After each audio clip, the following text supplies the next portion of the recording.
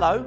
Few sights are more impressive than a naked eye comet visible in the twilight sky, either just before dawn in the morning or at dusk in the evening. It's some years since we had a naked eye comet visible from this country, but I'm pleased to say that now is the time because at the moment, in the morning sky before dawn, there is a lovely comet putting on an appearance. Its name is Comet C 2020 F3 Neowise, and uh, the reason for that name will become apparent a little later on. Bright naked eye comets don't come along very often. The brightest comet of recent years was this one, Comet McNaught, that was very bright in January of 2007. Now, this incredible picture by Terry Lovejoy from Australia shows the comet with its incredible dust tail stretching right across the frame. Sadly, this comet was not well seen from the northern hemisphere. This was primarily a southern hemisphere object, and as you can see, they had an absolutely glorious view.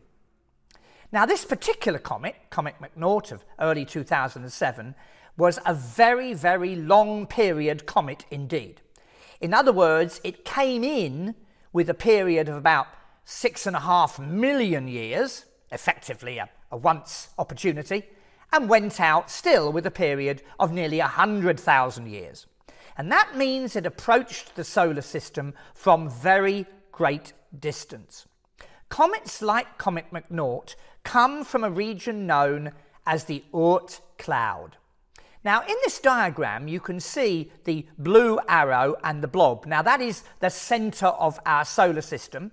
And you'll see there are two components to this. There is a sort of flattened disc-like region, and there's also a large spherical ball around the outside. Now, the large spherical ball around the outside, which extends a third of the way to the next nearest star, is called the Oort cloud, after the Dutch astronomer Jan Oort, who first proposed it. And it's from the Oort cloud that Comet McNaught would have originated.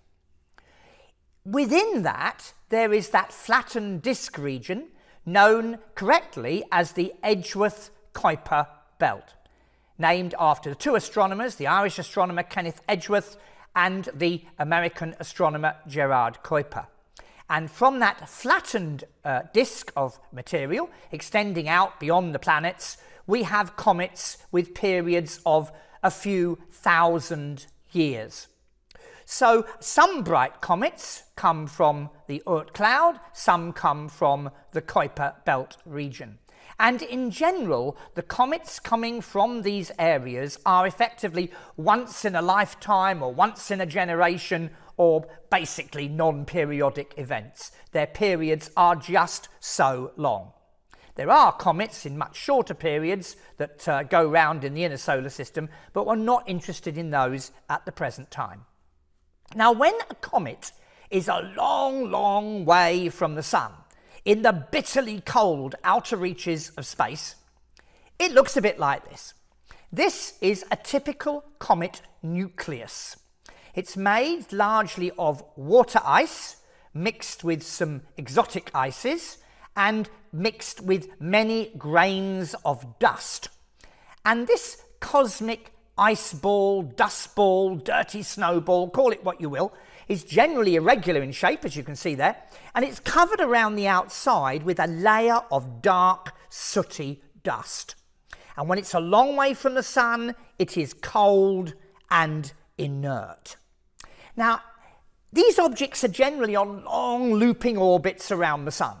And as it comes in towards the sun, the dark surface absorbs the radiation from the sun and it starts to warm up.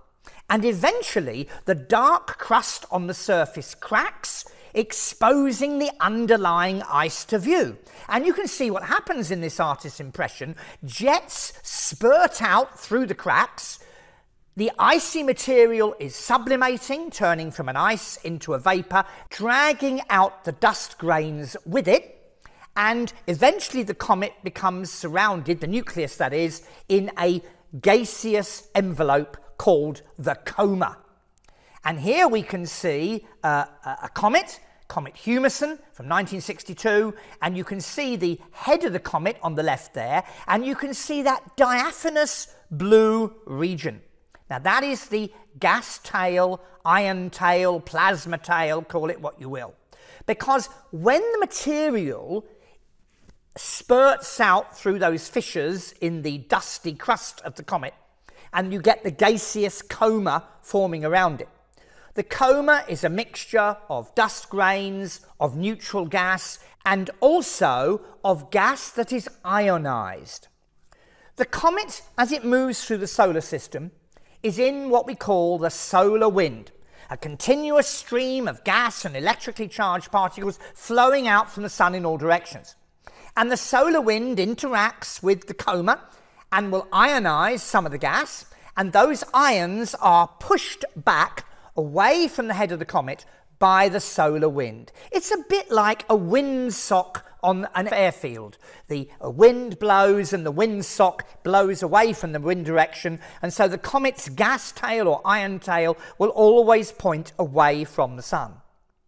Now, as the comet approaches still closer to the sun, the coma grows in extent and the gas tail becomes more obvious, and eventually a lot of the dust grains that are being released from the comet nucleus will themselves move away from the head of the comet, producing a second tail, the dust tail, and that is generally the one we're interested in.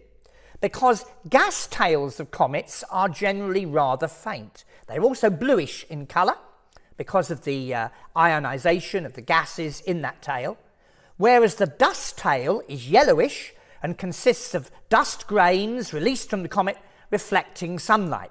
And it is the radiation pressure of sunlight that pushes those grains away from the comet's head. And very often the dust tail will curve away from the direction exactly opposite to the sun, and so you'll get the gas tail straight moving away directly from the anti sun direction, and curving away from that will be the broader dust tail.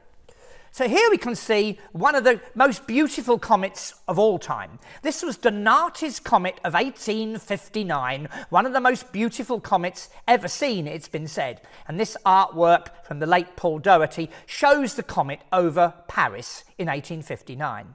Now you can see the broad curving dust tail there on the right and those straight streamers going up rather faint and that is the gas or ion tail.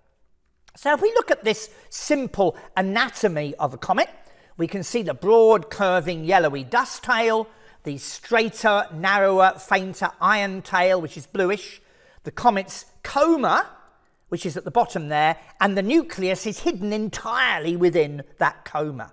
Now you can see that the tails may be millions, tens of millions of kilometres in extent. Even the coma can easily be 100,000 kilometres up to maybe even a million kilometres in extent. But the nucleus, the solid part in the middle, is typically between 1 and 10 kilometres in extent. And it's incredible to think that all that activity of the comet stems from that tiny, icy, dusty nucleus right in the heart of the head of the comet.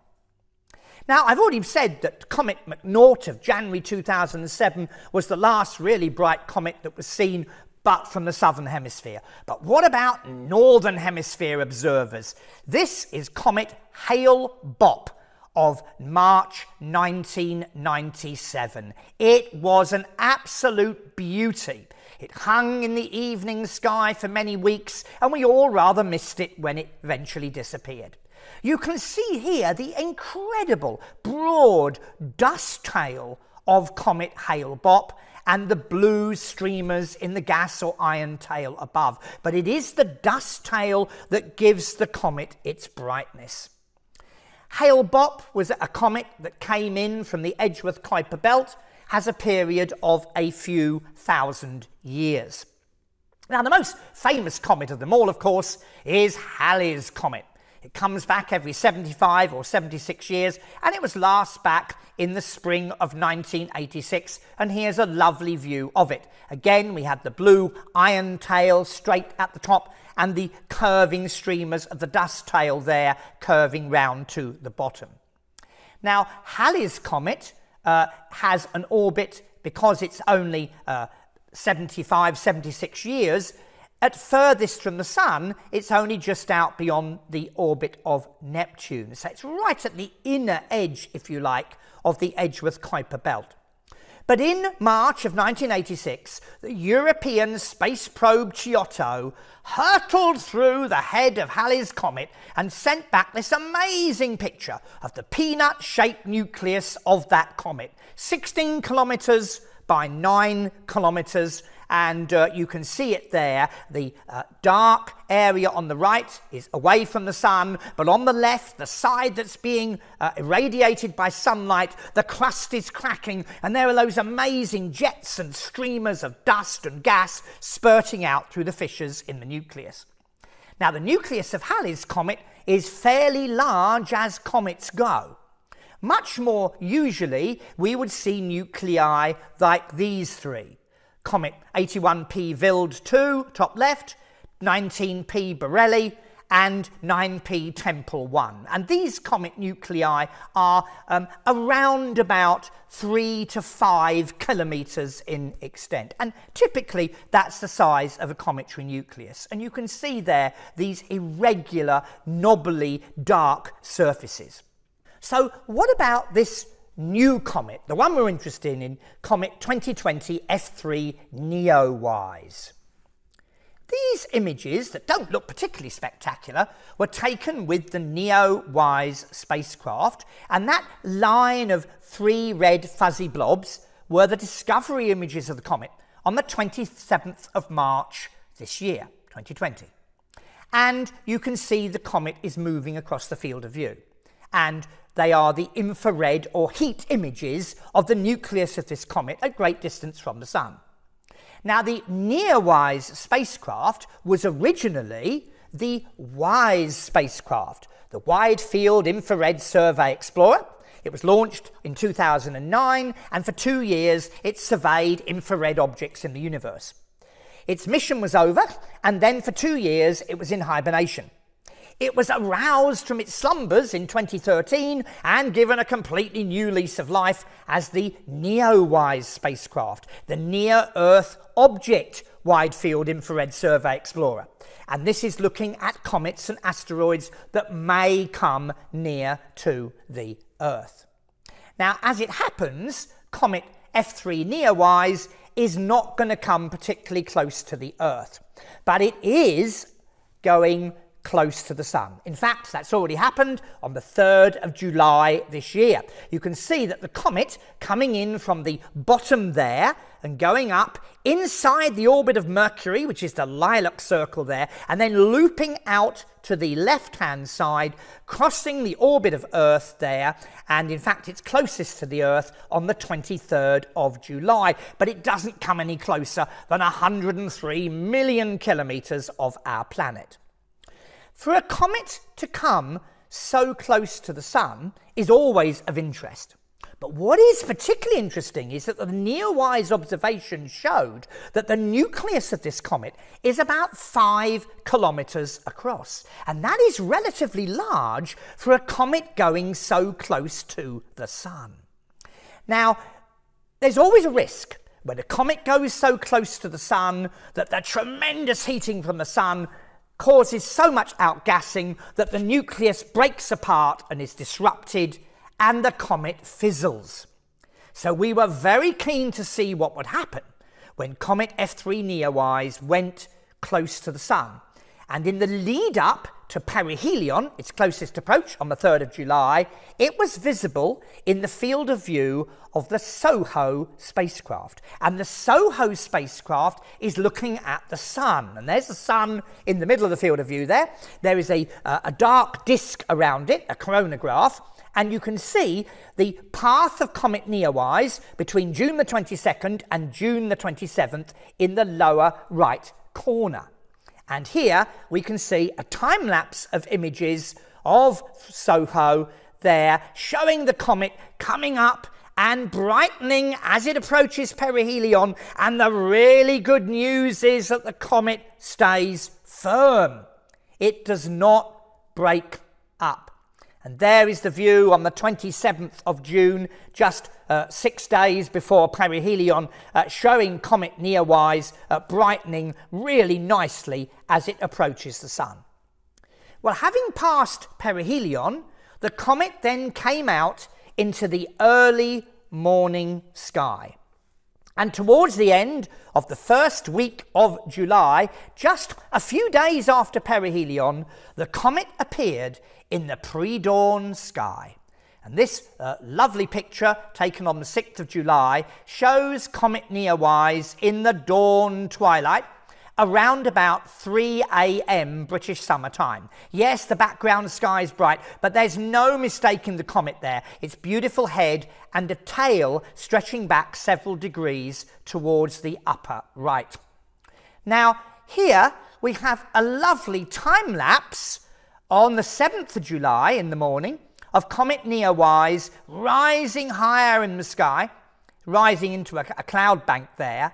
But you can see here that over the next few weeks, Comet Neowise is going to trek from the north northeast in the morning sky to the north northwest in the evening sky. You can see there the dates along the path of the comet. It's moving from Auriga, then through into neighbouring Lynx, and then through into Ursa Major. That's the, the Great Bear. Mostly people recognise the seven stars of the plough there. So, what's going to happen is at the moment, you need to get up pretty early and you need to be looking in the north northeast from about half past two onwards and the comet is a beautiful sight in binoculars. As the comet is now moving into darker skies, it's now possible to see not only the dust tail, the bright tail, which we've seen for a few days, but also the thin streamers of the ion tail stretching up in the anti sun direction. Now, over the next few days, the comet is moving higher above the horizon. It's going to be visible earlier on. And as it moves higher and into darker skies, the view should be very good indeed.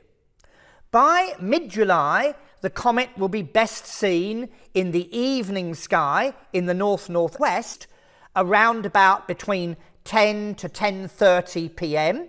If you're in the southern part of the United Kingdom, you want to go out about 10 p.m and look towards the north northwest, and the comet will be there. Obviously, the earlier you catch it, the higher it will be above the horizon. There is no doubt that this is a superb object. This amazing video from the International Space Station, taken in the first week of July, shows the comet there rising above the Earth. The space station's 400 kilometres up, travelling around the Earth at enormous speed. There's the day side of the Earth growing brighter. There's the comet, and there's the brilliant planet Venus over on the right hand side. A fantastic view. Well, this is what you hope to be able to see in the days and week or two ahead.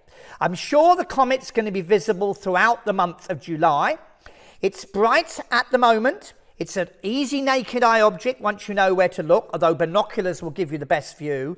Go out at the moment in the early morning, half past two, quarter to three, something like that, three o'clock in the morning.